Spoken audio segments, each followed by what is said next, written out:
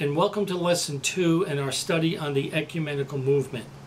When we finished the last lesson, we were talking about how the goal of the ecumenical movement is to get all people to unite together as one, to come together, to set aside our doctrinal differences, our theological differences, and focus on the common good of mankind and to unite ourselves together as one. We said we would pick up at this lesson with how are they trying to accomplish that? How do they get people to come on board with that and, and put up a standard that people can say that's reasonable and I can accept that? That's where we want to start with uh, in this lesson.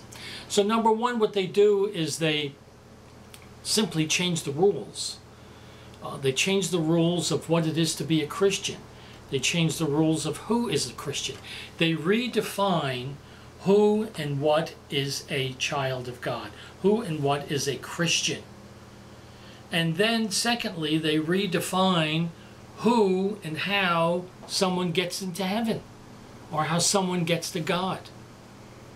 They take and make up their own standard and they make it in such a way that people can jump on board with it. Let's kind of break that down. All right. So, number one, redefine who is a Christian. So, according to the ecumenical movement, the people in the ecumenical movement, it's a movement made up of people. I keep referring to it as an it, but the people that are in the ecumenical movement, they redefine who is a Christian. And the definition is if you say you believe in Jesus, and I say I believe in Jesus, we're Christians. That's pretty much basically it. It doesn't get too much more into detail. So now, if you're a Christian and I'm a Christian, you see the progression here? Then we're brothers and sisters in Christ. And if we're brothers and sisters in Christ, we're both Christians, then as Jesus prayed, we should be united. You see the false foundation that's laid? Just say you believe in Jesus, and then when you do that, boom, you're a Christian, and if you're a Christian, you're my brother and sister, brother or sister in Christ. And if we're brothers and sisters in Christ, well, doesn't Jesus say we're supposed to be united? So therefore, if we're not united, you're disobeying Jesus' prayer and what it says in the Word of God. You're the one that's wrong, you have the problem. But it's all built on a false foundation. Who is a true Christian? If you acknowledge Jesus Christ, well, acknowledge what? They don't really get into that. Some will say that Jesus Christ is Savior. But then you have to get into, well, how is he Savior? See, there's a multitude of different ways that Jesus believes. I mean, the people believe that Jesus Christ is your Savior. There's a lot of people that believe, and we'll get into that in a moment, that, yeah, Jesus Christ is Savior. He died on the cross, but I have to work for my salvation. Does that make them a true Christian? We're going to look at that and break that down. But you see, you get into all of these variations. My point is, scripturally, simply saying that you believe, and, the, and a lot of people are using the word believe as to intellectually acknowledge that something exists. And there are a lot of people that just intellectually acknowledge as a matter of fact that Jesus Christ was a real person. And so you say to them, Do you believe in Jesus Christ? Well, yeah. And they're acknowledging that he was a person that lived in history. Well, that's not what the scripture talks about believing in Jesus Christ. When the scripture talks about believing, the word actually believe there means to trust, to place confidence in.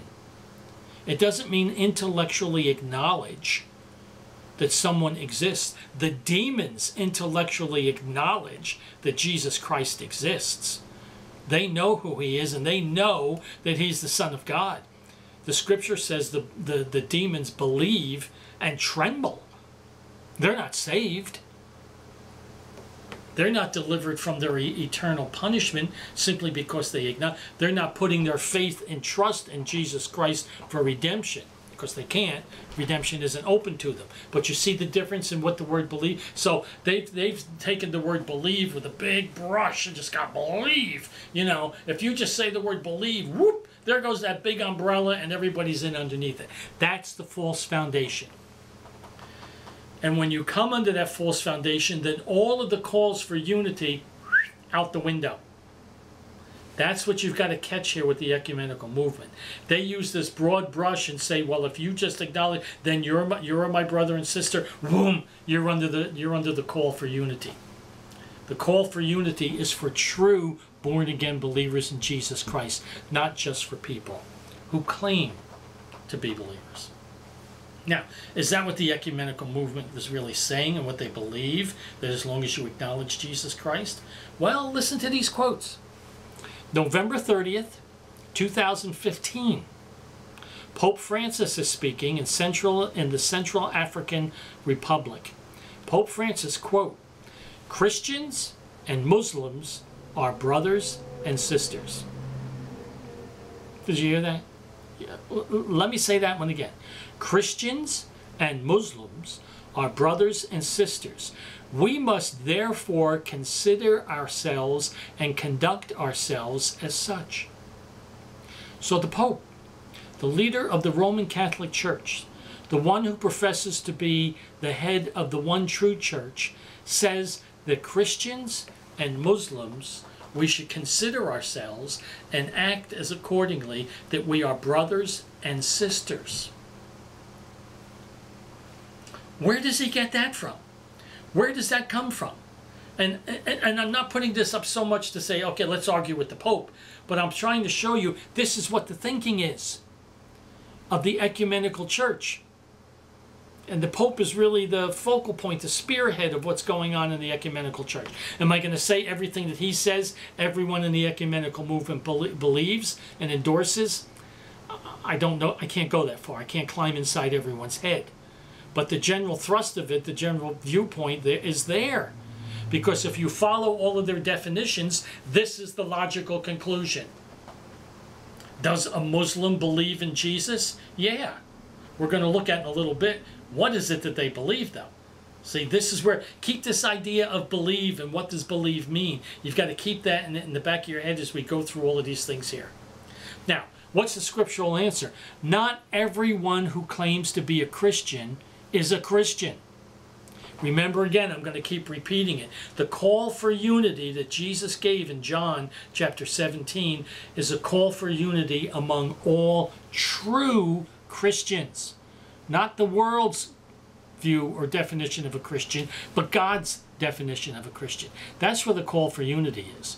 The call for unity in the ecumenical church is for anyone who names the name Jesus, and therefore you're a Christian. Now, the scripture teaches, again, let me get back where I was, that not everyone who claims to be a Christian is a Christian. Matthew 7, 21 through 23. A very powerful and devastating verse. Matthew 7, 21 through 23. Jesus speaking here. Not everyone that says unto me, Lord, Lord, shall enter into the kingdom of heaven. Now, someone who says unto him, Lord, Lord, is acknowledging Jesus, saying that, saying that Jesus is Lord.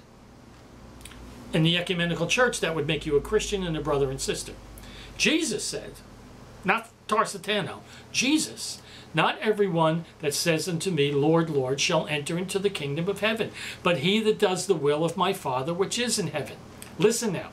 Many will say to me in that day, judgment day, Lord, Lord, they're talking to him as Lord, have we not prophesied in your name? And in your name we've cast out demons. And in your name done many wonderful works. So what do you have here? You have people who are saying Jesus is Lord. They've given prophecies in his name. They've cast out demons in his name. And in his name, in the name of Jesus, you know, you see the televangelists, in the name of Jesus, they've done not only just wonderful works, many wonderful works. These are their words. This is what they're saying. We've done all of these things. And what does Jesus say to them? And then I profess unto them, I never knew you. Depart from me, you that work iniquity. I never knew you. Not once you were saved, but you really messed up, you did something wrong, and now you lost it. I never knew you, which means you were never truly one of mine. You talked about me, you used my name, you did works, you looked like you cast out demons. That was probably Satan himself helping you to do it so that he would give a false impression to everyone around you. Satan can appear as an angel of light.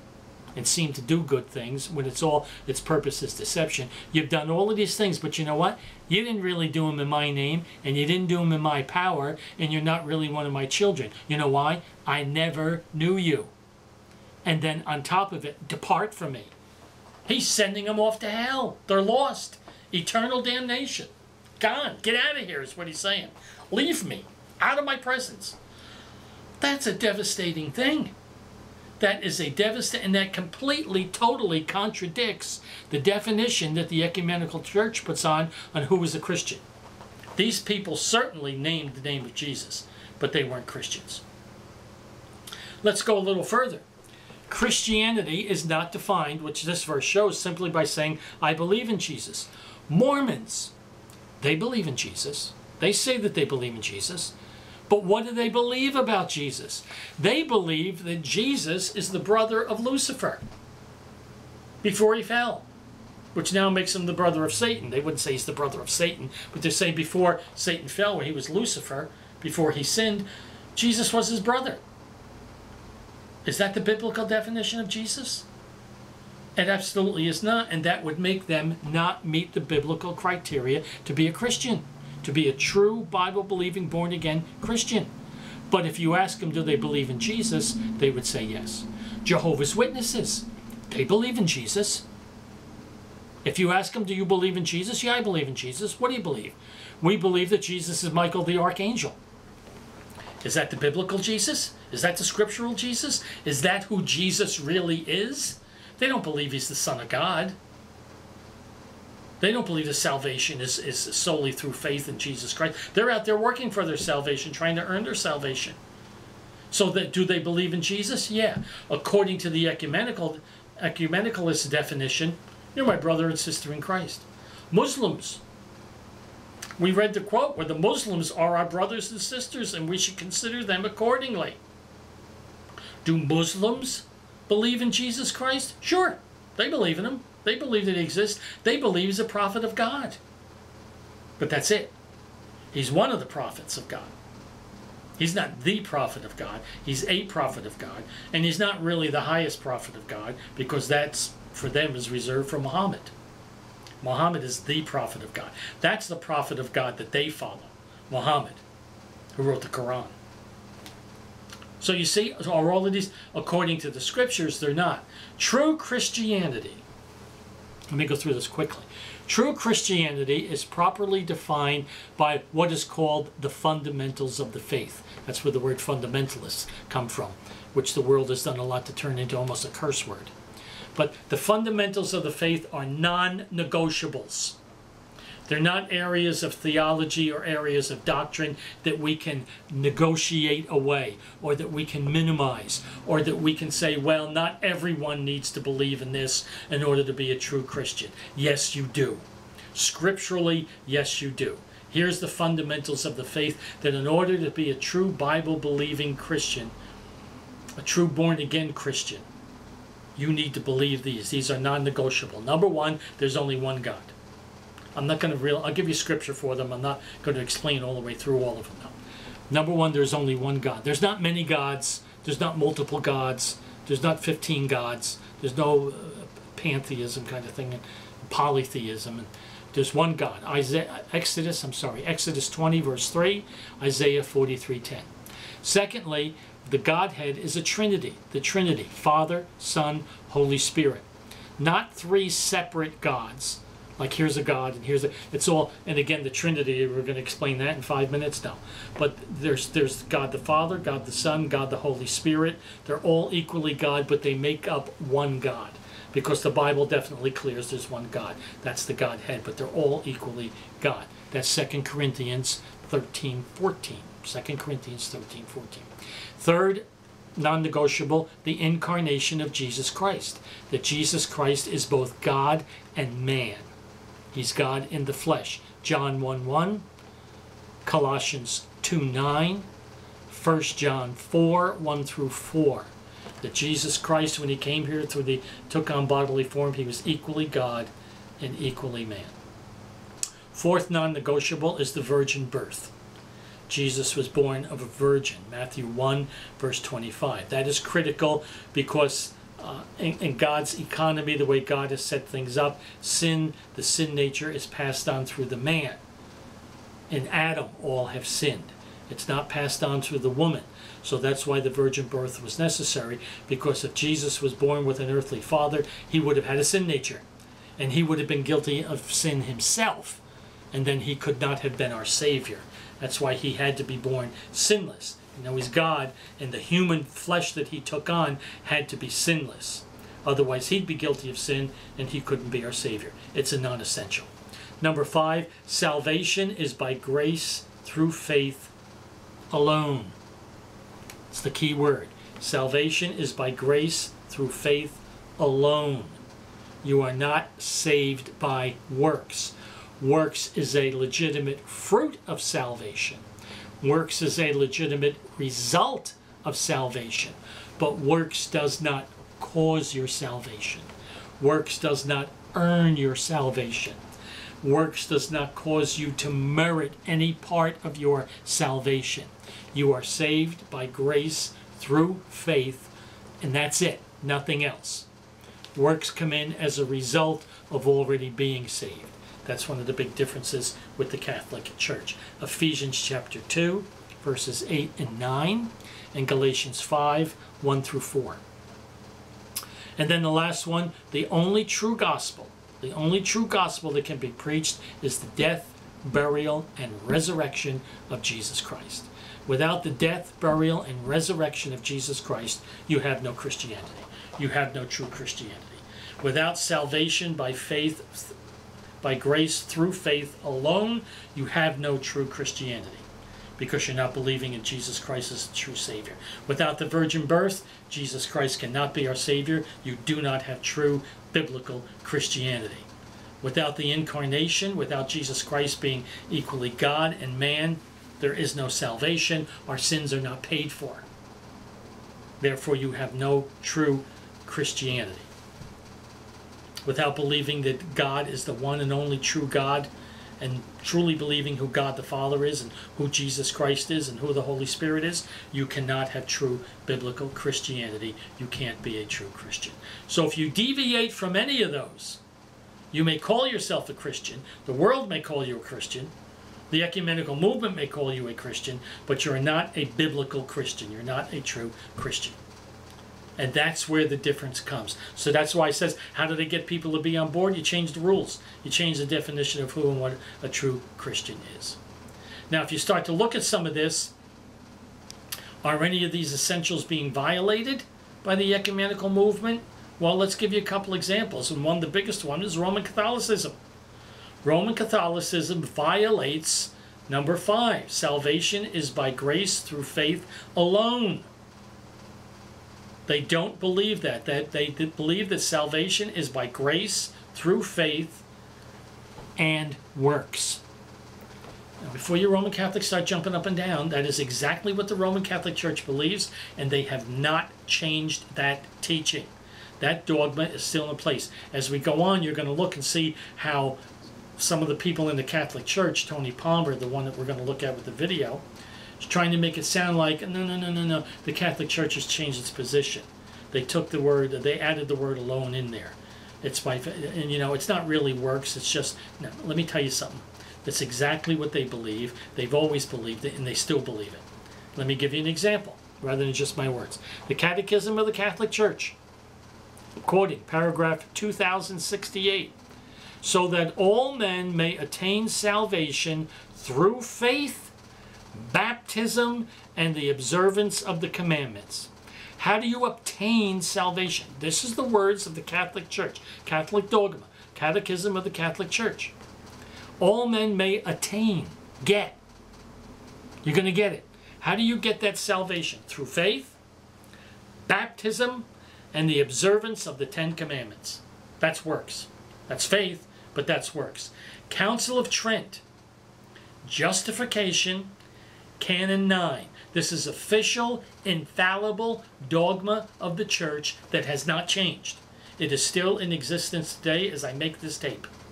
If anyone says, quoting now, if anyone says that by faith alone the impious is justified, If anyone says that by faith alone, that means apart from works, the impious is justified in such wise as to mean that nothing else is required to cooperate in order to obtain the grace of justification, and that it is not in any way necessary that he be prepared and disposed by the movement of his own will, let him be anathema.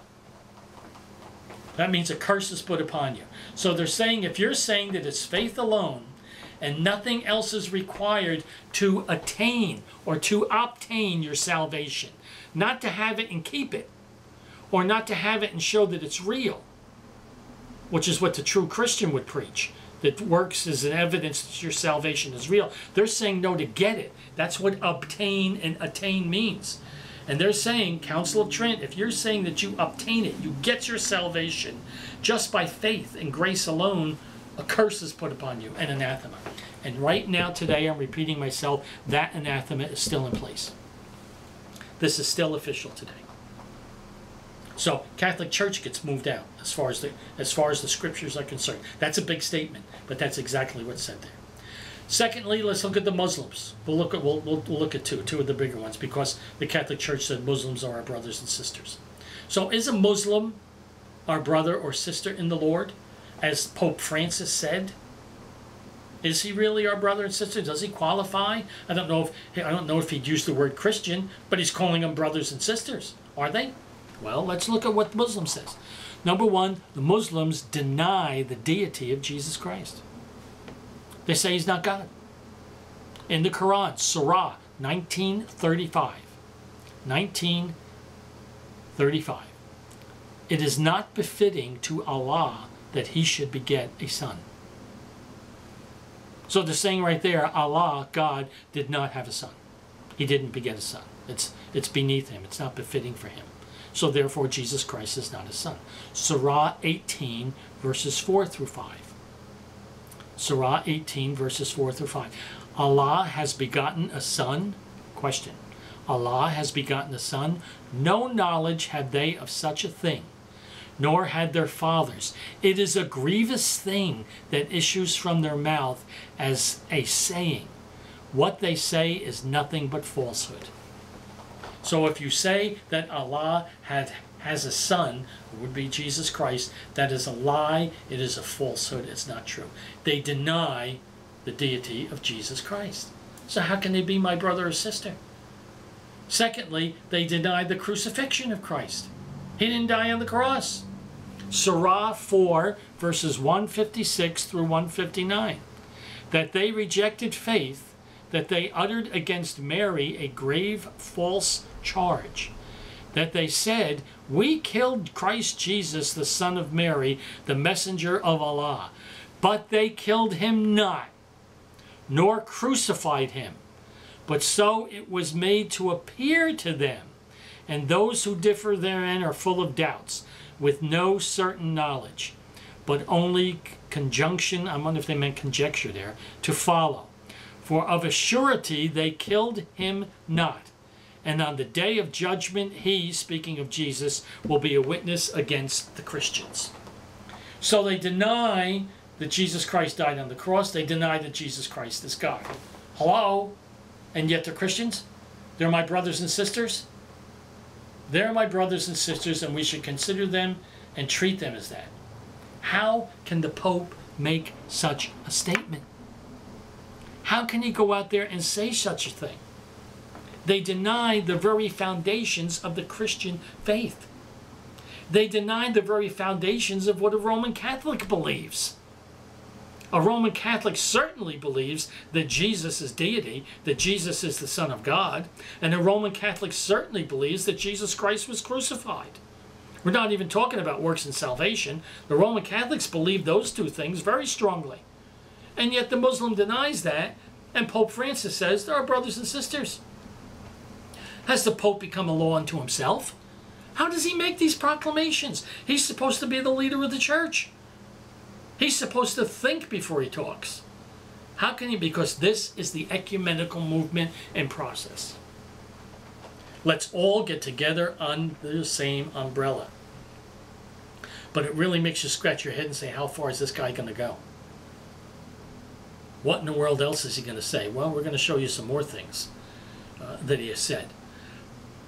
You know me, if you've watched any of my other videos, uh, you know I used to be Roman Catholic. You know I've done a lot of videos on Roman Catholicism. But I look at something like this and I, and, and I say to Roman Catholics, how far are you going to go to defend this man? I mean, to make statements like this. I mean, that contradicts his own doctrinal beliefs. What are we going to have 14 people come out and try to unwind and unspin what he said and say, no, he really meant this and he really meant that? I think he knew exactly what he meant and he knew exactly what he was saying.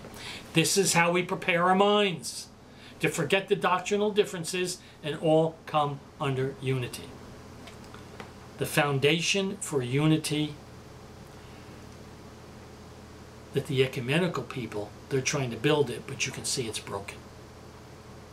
It's broken in the sense that I should say the foundation for biblical unity is broken here because these people are not true Christians. So, redefine who is a Christian. Secondly, redefine who are the children of God. Who are God's children? Listen to this. I'm looking at this and I'm looking at the clock. I'm almost on 30 minutes. I try to keep them at 30. I really don't want to race through this, so let me stop here and we'll pick up on the next one of redefining who are children of God. We're going to give Roman Catholics and official documents how they have defined who are children of God, and then we're going to look at the scriptures. Thank you for watching. Again, I, I, I hope that you encourage you to continue on watching these lessons. May the Lord bless you.